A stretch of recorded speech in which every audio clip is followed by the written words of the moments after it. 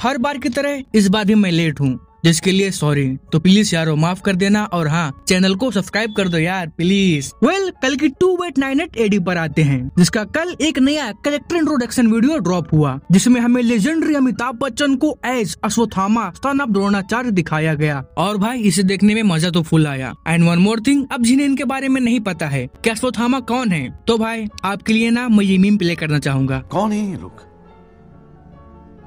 कहाँ से आते हैं खैर खैर खैर, जिन्हें अश्वथामा के बारे में नहीं पता है, ये उनके लिए। तो सुनो अश्वथामा पांडवों और कौरवों के गुरु द्रोणाचार्य के पुत्र हैं, जिन्हें ना तो कोई युद्ध में मार सकता है और ना ही कोई युद्ध के बाद, क्योंकि वो ऐसे सात चिरंजीवियों में से आते हैं, जो अनंत काल तक के लिए अमर हैं। परंतु देयर इज़ समथिंग एल्स और वो ये है कि अश्वथामा के मामले में ये अमर रहने वाली बात थोड़ी कंडीशनली है, क्योंकि जहाँ पे सात में से छह चिरंजीवियों को अमर रहने का वरदान मिला है, वही अश्वथामा के लिए ये किसी शराब से कम नहीं है, जिसका रीजन ये है जब महाभारत का युद्ध चल रहा था, तब अश्वत्थामा ने उत्तरा के कोख में पल रहे अभिमन्यु के पुत्र को ब्रह्मास्त्र चलाकर मारने की कोशिश की थी, ताकि पांडवों का पूरा वंशज खत्म हो जाए यहीं पे। परंतु ये सभी बातें मालूम पड़ जाती हैं श्री कृष्ण जी को, और अश्वत्थामा की इस काम से क्रोधित होकर श्री कृष्ण जी उनके माथे में लगी हुई ये मनी निकाल लेते हैं, और उन्हें शराब देते हैं कि तुम चिरकाल तक भटकते रहोगे। वेल, मुझे लगता है कि इतना ज्ञान काफ़ी है जो तुम्हें समझा देगा, थोड़ा बहुत तो समझा ही देगा। इसीलिए इसके इंट्रोडक्शन वीडियो पे आते हैं, जिसका रिव्यू मैं एक लाइन में करूँ।